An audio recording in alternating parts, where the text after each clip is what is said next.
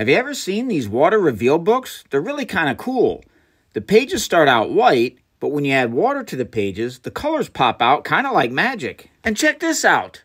Once the pages have been wet, if you allow it to dry, the colors disappear as the water evaporates. How the heck does this thing work? Well, I did some experiments to try to figure it out. In my first set of experiments, I tried adding liquids other than water to the pages. Of course, water worked, but so did alcohol, hexane, and just about any other liquid I tried. But watch what I saw when I put one of these pages into some liquid nitrogen. I only saw a slight color change. To test if the lack of color was due to the cold temperature of the liquid nitrogen, I took the page dipped in liquid nitrogen while it was still cold and put it in some water. The water still made the colors appear, so there's something about the liquid nitrogen other than its cold temperature that keeps the colors from appearing. Investigating further, I found a patent titled Wet Surface Indication.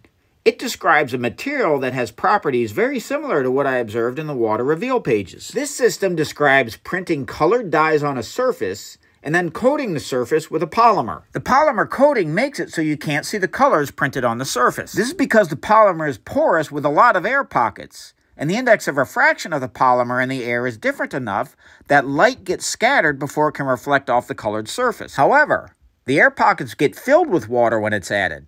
Because the index of refraction of water and the polymer are very close, light doesn't get scattered. In this case, the polymer-water interface becomes transparent and the colors beneath can be seen. This is the same effect that's observed in the disappearing beaker experiment where oil is poured into a beaker submerged in vegetable oil. On doing so, it looks like the beaker disappears. This happens because the index of refraction of the oil and the beaker are nearly identical. Now we can understand why ethanol and hexane also develop color in these pages. Both of these liquids have an index of refraction close to that of the polymer, and this allows the transparent effect to occur.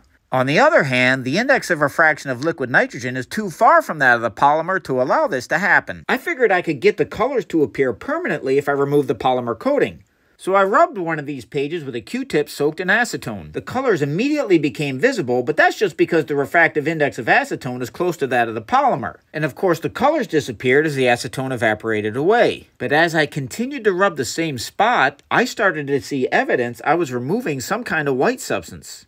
It was probably the polymer. And sure enough, when I was able to dissolve enough of the polymer away with the acetone, the color on the surface persisted to show through even when the acetone had evaporated. So what do you think? Have I figured out the science of how water reveal books work? Let me know in the comments. Hey, also be sure to let me know any experiments you try with these interesting products.